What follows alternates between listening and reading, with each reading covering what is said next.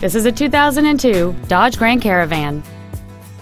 It has a 3.8-liter six-cylinder engine and a four-speed automatic transmission. Its top features include third-row seats, 10 perfectly positioned speakers, chrome wheels, and the heated seats can warm you up in seconds, keeping you and your passengers comfortable the whole trip. The following features are also included air conditioning with automatic climate control, cruise control, heated side view mirrors, a CD player, an independent rear suspension, front fog lights, roof rails, an anti-lock braking system, a rear window defroster, and the leather seats provide great support and create an overall luxurious feel. Contact us today to schedule your opportunity to see this automobile in person. Granger Motors is dedicated to doing everything possible to ensure that the experience you have selecting your vehicle is as pleasant as possible.